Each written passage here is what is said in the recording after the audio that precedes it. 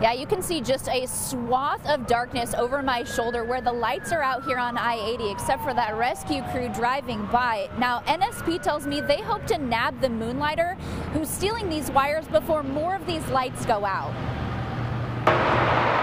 Streetlight after streetlight after streetlight with the wires sliced. Dozens of lampposts along I 80 and Highway 75 targeted by copper thieves, leaving much of the road in the dark. I know the last theft was four, and that was one of the smaller ones, so it could be upwards of 10 at a time. Captain Matt Sutter with the Nebraska State Patrol says copper thefts are not new, but going after lights is. The amount of wire that they're taking and the, the, the small payout that they're going to get selling that for scrap metal uh, it, it, pales in comparison to the actual cost of the damages and rewiring everything. In fact, it's costing taxpayers a pretty penny. NSP says not only is the suspect cutting wire from the lights themselves, but pulling all the underground conduit too, racking up the repair costs. I would say we're probably well over 100,000 at this point. It's mostly along the south side of Interstate 80 between 84th and 60th Street and on Highway 75 near Chandler. Sutter says they're asking for home and business surveillance video to track the thief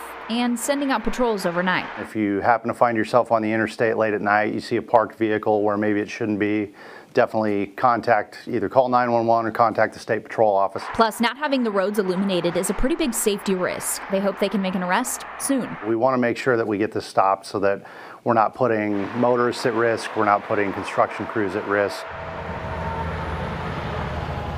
Yeah, so if you see any kind of car or van on the side of the interstate that looks like it doesn't belong there, go ahead and call 911.